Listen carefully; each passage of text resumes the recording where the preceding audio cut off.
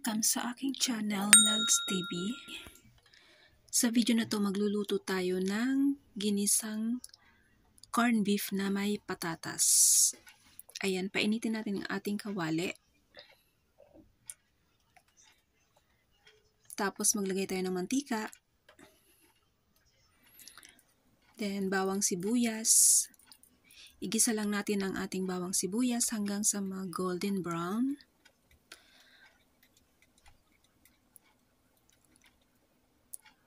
And then maglagay tayo ng kunting paminta.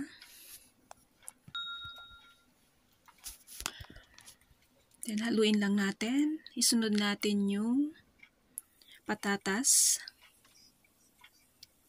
Hiwain nyo lang yung patatas ng maliliit.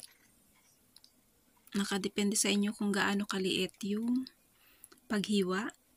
Tapos maglagay tayo ng konting asin. Ayan, haluin lang natin guys.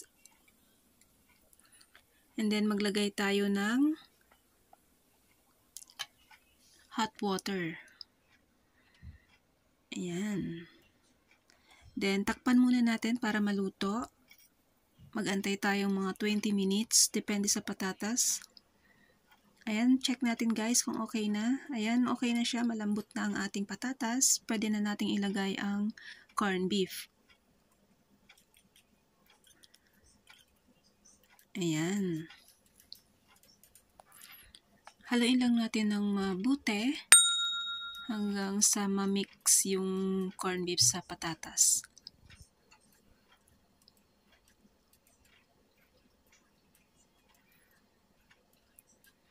Masarap yan guys.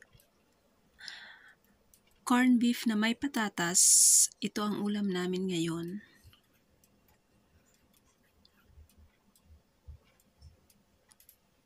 Ayan, hanguin na natin ang ating corn beef na may patatas. Luto na siya. Ready to serve na ang ating ulam. Ayan, sarap. Masarap yan guys. Thank you for watching. Bye!